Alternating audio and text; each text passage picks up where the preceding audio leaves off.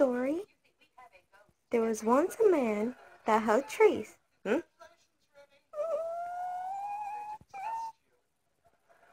And now he kills babies. The end.